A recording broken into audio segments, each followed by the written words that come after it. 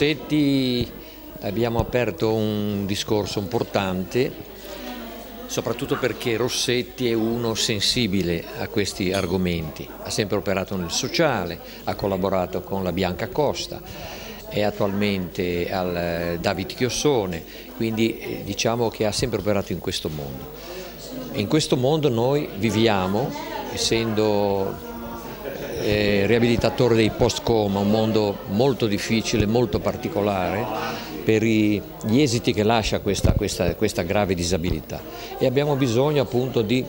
esporre quelle che sono le esigenze, le difficoltà attuali e quello che ci proponiamo per il futuro. Noi miriamo ad esempio a semplificare le nostre strutture in un'unica struttura, per un recupero di costi e per la possibilità quindi di dare maggiori dire, terapie, maggiore assistenza, maggiore eh, possibilità di aperture. E sicuramente si apre un discorso con la Regione, è importante perché questo mondo che è oggi in molta difficoltà e per i tagli e per i ridimensionamenti vive una crisi profonda che non è solo del disabile ma delle famiglie e questa, questa, difficoltà ahimè a volte contrasta con quello che purtroppo ahimè si sente, sprechi, eh, spese inutili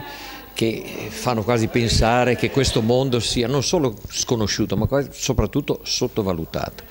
Quindi questo è il nostro compito difficile, arduo, in salita, ma proprio con Rossetti, che è uno, ripeto,